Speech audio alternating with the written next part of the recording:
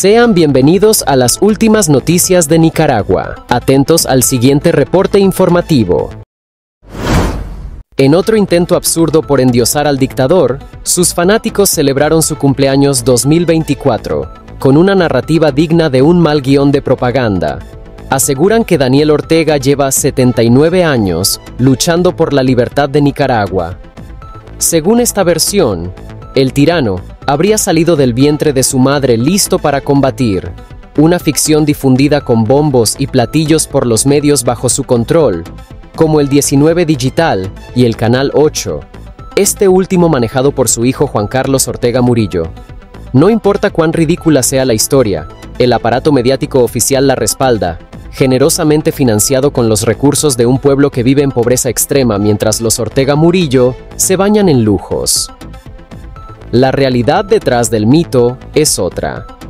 Reclutado por su hermano Humberto Ortega, el joven Daniel se destacó no por su combate revolucionario, sino por sus habilidades de asaltante, robando bancos y negocios para financiar su causa.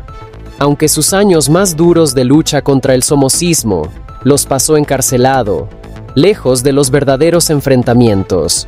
Su glorioso regreso solo ocurrió cuando Somoza ya había caído, tras un exilio en Cuba y Costa Rica, donde, lejos de ser el héroe que hoy pregonan, estuvo envuelto en escándalos de abuso contra su hijastra América, crímenes que la dictadura nunca permitió que fueran juzgados. Cada cumpleaños, sus aduladores se esfuerzan por congraciarse con el dictador y este 2024 no fue la excepción. La historia inverosímil esta vez es que Daniel Ortega lleva 79 años supuestamente entregado a la lucha por la libertad de Nicaragua, lo que en tal caso indicaría que desde que salió del vientre de su madre, el caudillo está en combates históricos. Así lo publicaron medios de la familia dictatorial como el 19 Digital o el Canal 8 que dirige el hijo de la pareja con fondos del Estado, Juan Carlos Ortega Murillo. Daniel Ortega fue reclutado por su propio hermano Humberto a las filas del sandinismo, donde las únicas habilidades que le descubrieron eran las de asaltante. A esas tareas se dedicó prácticamente desde su adolescencia. Asaltaba bancos, pulperías y camiones repartidores, según testimonios de él y de otros excombatientes. En 1967 fue apresado por un asalto a la sucursal Kennedy del Banco de Londres, ubicado en Managua. A pesar de que participó en muchos asaltos más y en la muerte de un oficial de la Guardia Nacional, solo fue condenado por ese delito. Sus aduladores dicen que lleva toda su vida en combate, pero los años más álgidos de la lucha contra Somoza, él los pasó en prisión mientras sus compañeros morían enfrentados con los hombres de Somoza. Luego de ser liberado por un comando en 1974, se fue a Cuba y luego a Costa Rica, donde se escondió y se dedicó a cometer abusos contra su hijastra América, los cuales nunca fueron condenados. Ortega regresó al país solo cuando supo que Somoza había dejado el poder. El último acto de abuso de poder de Daniel Ortega y Rosario Murillo es la confiscación del prestigioso campus del INCAE en Managua, valuado en 20 millones de dólares, para construir un centro oncológico nacional que dicen beneficiará al pueblo nicaragüense. La dictadura promociona este supuesto logro médico como si fuera una obra desinteresada, mientras ignora que el terreno, de más de 95 manzanas y valorado en millones, fue arrebatado ilegalmente a una de las instituciones educativas más prestigiosas de la región. Con el disfraz de promesas de alta tecnología y atención especializada, el régimen pretende justificar su expolio, aprovechando la estructura y los recursos que otros construyeron. Irónicamente, Mientras el régimen pregona un futuro de 80.000 consultas oncológicas y servicios quirúrgicos, la realidad de las confiscaciones previas revela una historia de promesas incumplidas y edificios vacíos.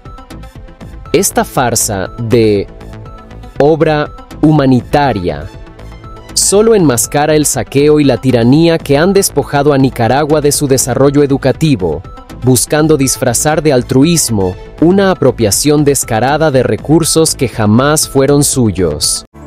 La dictadura de Daniel Ortega instalará el Centro Oncológico Nacional Dr. Juan Ignacio Gutiérrez Sacasa en el campus que confiscó ilegalmente en septiembre de 2023 al Instituto Centroamericano de Administración de Empresas INCAE. El régimen de Ortega informó este lunes 11 de noviembre de 2024 que desarrollará el centro médico en cuatro etapas y concluirá en marzo de 2025. La vicepresidenta y vocera del régimen, Rosario Murillo, anunció la instalación del centro sin mencionar que lo harían en la propiedad robada al INCAE. Ese centro que empezará a trabajar el 8 de marzo, entregándolo a las familias y en particular a las mujeres de nuestra Nicaragua. Así que hoy por la tarde se estará presentando desde el Ministerio de Salud. La propaganda oficial cita este moderno centro brindará atención médico-quirúrgica a los pacientes con cáncer en todo el país, dispondrá de equipos de alta tecnología y contará con personal especializado en diferentes áreas de oncología. En septiembre de 2023, el régimen canceló la personería jurídica del INCAE y ordenó la confiscación de sus bienes, muebles e inmuebles con el argumento de que incumplían obligaciones ante la Dirección General del Registro y Control de Organismos sin fines de lucro. En ese momento, horas después de la cancelación, la entidad educativa reconoció el hecho con profunda tristeza, prometiendo continuar con su propósito de transformar vidas para un mejor futuro de América Latina desde su campus en Costa Rica y posteriormente una nueva sede en Panamá. La confiscación del campus en Managua tiene un valor aproximado de 20 millones de dólares, según fuentes vinculadas al INCAE. Las pérdidas incluyen el terreno, edificios académicos y administrativos, residencias para estudiantes y equipos varios. El ex canciller Denis Moncada, quien hasta hace poco había sido declarado enfermo y por lo tanto incapaz de continuar en su puesto, reaparece milagrosamente con la bendición de Ortega y Murillo como el principal candidato para dirigir el sistema de la integración centroamericana, SICA. Este nuevo intento desesperado del régimen es la tercera terna propuesta tras el vergonzoso fracaso de imponer a personajes de su círculo, como el propio Jaenchke y la diputada Arling Alonso, sancionada por Estados Unidos por corrupción. Esta vez, Ortega y Murillo apuestan por Moncada, su fiel defensor en el escenario internacional, quien se ha dedicado a presentar a la dictadura como una víctima del imperialismo, un discurso ya gastado que ni ellos mismos creen. El régimen parece determinado a extender su influencia en cualquier organismo regional que aún les quede, aunque eso implique empujar a personajes tan controvertidos como Moncada, Alonso o la ministra Joana Flores, famosa por desmantelar centros de protección infantil y expulsar adolescentes en situación de riesgo.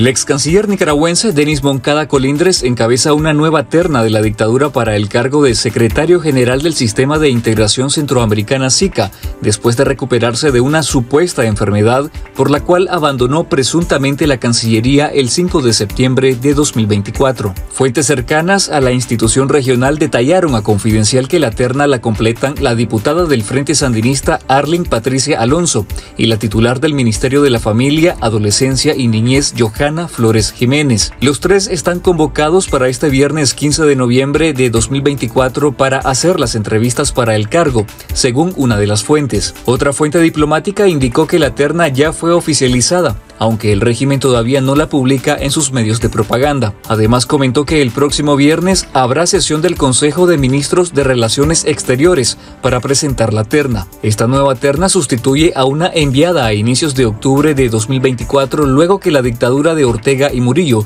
fracasó en su intento de imponer en el cargo a su operador político y ahora canciller Valdrayanske. La diputada Arlene Alonso es la única que repite entre los nuevos candidatos. Un experto en relaciones internacionales comentó a Confidencial que la candidatura del ex canciller Moncada podría prosperar y ser aceptada por los demás países, ya que el principal argumento para rechazar las anteriores ternas orteguistas es que se trataban de funcionarios sin muchos conocimientos en el servicio exterior.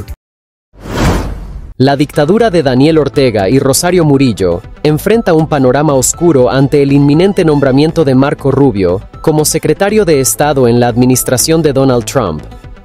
Rubio, conocido por su posición implacable contra los regímenes comunistas en América Latina, ha prometido no dar tregua a la dictadura nicaragüense. Este giro en la política exterior estadounidense coloca a los caudillos del Carmen en el punto de mira de una Casa Blanca que no piensa tolerar la represión y violaciones de derechos humanos del régimen Ortega Murillo.